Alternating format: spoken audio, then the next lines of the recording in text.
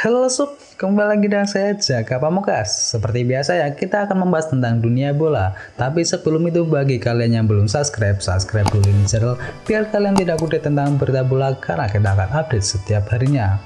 Oke, langsung saja kita ke berita selengkapnya. Check this out. Bursa transfer musim dingin tinggal menyisakan beberapa hari lagi dan tim-tim Eropa semakin gencar demi mendapatkan pemain-pemain incarannya.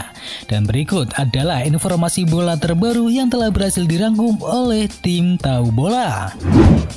Resmi Fiorentina datangkan striker yang baru. Fiorentina resmi mendatangkan striker berpengalaman asal Rusia yakni Alexander Kokorin. Kedatangan penyerang berusia 29 tahun itu diharapkan akan bisa menambah daya gedor dari Fiorentina pada paruh kedua musim ini dan tentunya memperbaiki posisi mereka. Kokorin sendiri telah mencetakkan dua gol dan dua assist dalam total 10 pertandingan di semua kompetisi bersama tim Rusia yakni Spartak Moskow dan dia akan dikontrak oleh La Viola dengan durasi tiga setengah musim.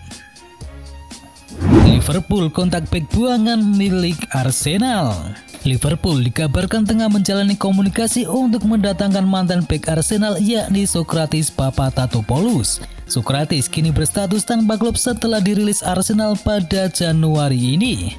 Seperti yang dilansir dari The Athletic, Jurgen Klopp tidak merahasiakan keinginan untuk mendatangkan back yang baru dan dia dilaporkan tengah mengontak langsung Sokratis. Sokratis sendiri kini dalam posisi sebagai free agent dan back asal Yunani ini bisa reuni dengan Jurgen Klopp di Liverpool nanti. Diketahui Sokratis dan Jurgen Klopp pernah bekerja sama saat memperkuat Borussia Dortmund beberapa tahun yang lalu. Dan back berusia 32 tahun itu telah bermain sebanyak 73 kali di bawah arahan Jurgen Klopp di Borussia Dortmund. Bayern Munchen tertarik datangkan bek Villarreal untuk gantikan David Alaba. Raksasa Bundesliga Jerman yakni Bayern Munchen dikabarkan sudah menyiapkan calon pengganti bek serba bisa mereka yakni David Alaba. Dilansir dari Marka, klub yang berjuluk di Rotten itu dikabarkan telah mempertimbangkan palang pintu Villarreal yakni Pau Torres. Pau Torres sendiri menjadi pemain yang menarik minat banyak klub top Eropa karena ketangguhannya dalam mengawal pertahanan Villarreal dalam beberapa musim terakhir ini. Sejauh ini, Pau Torres telah mencatatkan 64 pertandingan dengan membukukan 4 gol dan 2 assist bersama Villarreal di semua kompetisi. Dan Bayern Munchen mengklaim bahwa Pau Torres adalah pilihan utama mereka untuk mengisi kekosongan yang akan ditinggalkan Alaba jika resmi pindah bergabung dengan Real Madrid. Bayern Munchen ingin menduetkan Pau Torres dengan Jerome Boateng di jantung pertahanan musim mendatang.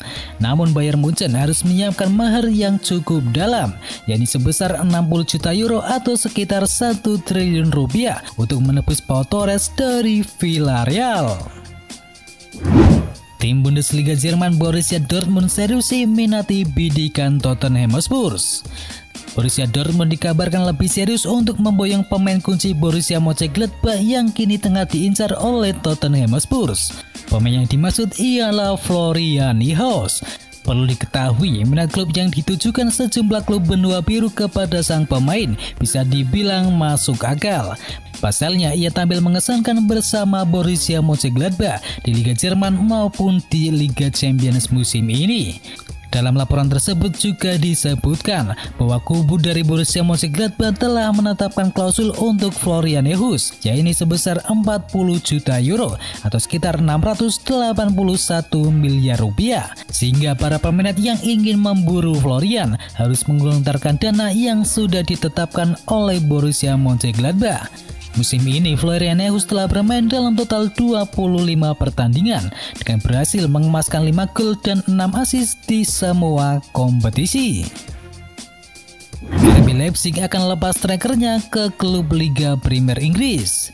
RB Leipzig dikabarkan bakal melepas salah satu pemain di lini depannya ke klub Liga Premier Inggris dalam waktu yang dekat ini. Pemain yang dimusut ialah Huang Hichan. Perlu diketahui pemain internasional Korea Selatan tersebut selama berada di Red Bull Arena menit bermainnya sangatlah kurang. Pasalnya, sang juru taktik yakni Julian Nagelsmann lebih kerap memainkan Emil Forsberg dan Alexander Sorloth. Wang Chan kini diminati oleh West Ham United. Kubu berjuluk The Hammers tersebut memang sekarang ini sangat membutuhkan pemain di lini depan dan ia dianggap sebagai pemain yang tepat untuk menambah daya gedor West Ham United. Dalam laporan itu disebutkan jika kubu West Ham United ingin mendatangkan sang pemain ke London Stadium dan sekarang sedang dalam proses pembicaraan untuk mencapai kesepakatan. Weston McKennie segera dipermanenkan oleh Juventus. Weston McKennie kini tampil moncer bersama Juventus di musim kali ini.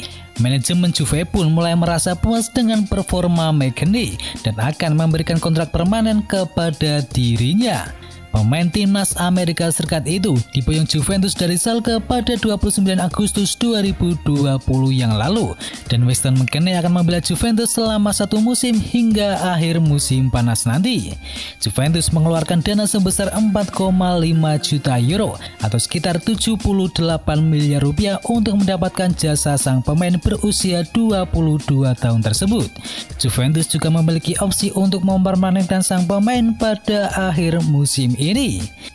Dalam syarat peminjamannya tersebut, Ibianconeri diwajibkan untuk mempermanenkan status McKennie jika telah memainkan 60% dari semua total pertandingan kompetitif pada musim ini. Juventus bakal mengucurkan dana sebesar 18,5 juta euro atau sekitar 321 miliar rupiah demi menebus sang pemain. Bersama Juventus, penampilan Western McKennie semakin meningkat. Sejauh ini, dia telah mendulang 2 gol dan 3 assist dari total 16 pertandingan di semua kompetisi. Thomas Tuchel segera gantikan Frank Lampard sebagai pelatih Chelsea. Serangkaian hasil buruk yang didapatkan Chelsea membuat Dewan Klub memilih untuk mengakhiri kerjasama dengan Frank Lampard tepat 24 jam setelah mereka memenangkan pertandingan dengan skor 3-1 di kompetisi Piala FA.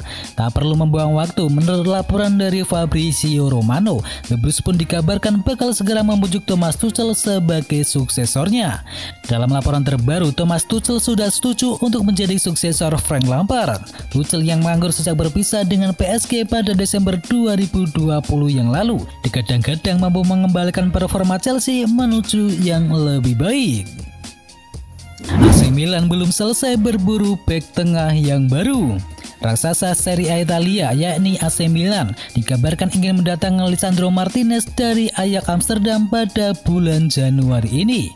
AC Milan mengincar bek berusia 23 tahun tersebut karena rencananya ingin segera melepas Matteo Musacchio. Saat ini, Lisandro masih terikat kontrak dengan Ajax Amsterdam hingga tahun 2023 mendatang. Namun AC Milan disebut sudah berusaha untuk membujuk klub Belanda itu agar bersedia melepasnya pada bursa transfer musim dingin ini. Kabarnya Lisandro sendiri bernilai sekitar 20 juta euro dan AC Milan disebut siap menebusnya secara penuh pada musim panas mendatang setelah mereka meminjamnya terlebih dahulu di sisa musim kali ini. Pemain asal Argentina Argentina tersebut bermain apik bersama Ajax di musim kali ini.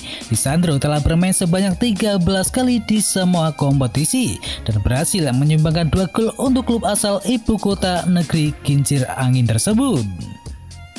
Banyak hutang Barcelona diambang kebangkrutan. Barcelona baru saja merilis laporan keuangan tahunan mereka pada Senin waktu setempat. Kondisinya tidaklah terlalu bagus. Barcelona masih menanggung utang banyak kepada beberapa klub. Tercatat total utang Barcelona mencapai 112 juta pound sterling pada 19 klub berbeda terkait bursa transfer pemain. Umumnya ini terkait pada kasus transfer pemain yang dibayar secara berkala. Adapun dalam utang sebesar 112 juta pound sterling itu, jumlah terbesar adalah utang sebanyak 25 juta pound sterling atau sekitar 500 miliar rupiah kepada Liverpool terkait transfer Filipe Coutinho yang disepakati sebesar 142 juta pound sterling pada beberapa tahun yang lalu. Selain masih utang ke Liverpool untuk Coutinho, Barcelona juga masih punya tanggungan pembayaran pada banyak klub yang lain. Mereka masih perlu membayar sebesar 8,8 juta pound sterling kepada Bordeaux terkait transfer Malcolm ke Barcelona Dan ada sebesar 7 juta pound sterling lainnya yang harus dibayar ke Gremio untuk transfer Arthur Melo. Juga ada sebesar 14 juta pound sterling ke Ajax Amsterdam untuk transfer Frankie de Jong yang pindah ke Barcelona. Dan yang lebih buruk, belum ada kepastian kapan Barcelona bisa membayar utang-utang tersebut. Bahkan kondisi klub saat ini diambang kebangkrutan karena defisit besar setahun terakhir akibat pandemi COVID-19.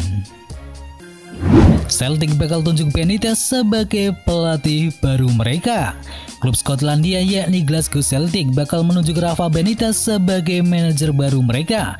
Pelatih asal Spanyol tersebut bebas mengambil pekerjaan baru setelah meninggalkan klub Liga Tiongkok yakni Dalian Pro. Celtic sendiri mengalami musim yang sangat buruk di bawah asuhan Neil Lennon dan mereka tertinggal jauh dari rival abadinya yakni Glasgow Rangers. Anda resmi dijadikan sebagai pelatih Celtic. Benitez akan berhadapan langsung dengan mantan kapten Liverpool yakni Steven Gerrard yang saat ini telah menjadi manajer bagi rival mereka yakni Glasgow Rangers. Dan itu adalah berita bola kali ini. Jangan lupa kunjungi channel kami lainnya. Untuk linknya ada di kolom deskripsi. Jangan lupa ya like, komen, dan sebarkan video ini biar teman kamu tidak kudet tentang berita bola. Dan akhir kata, watch out.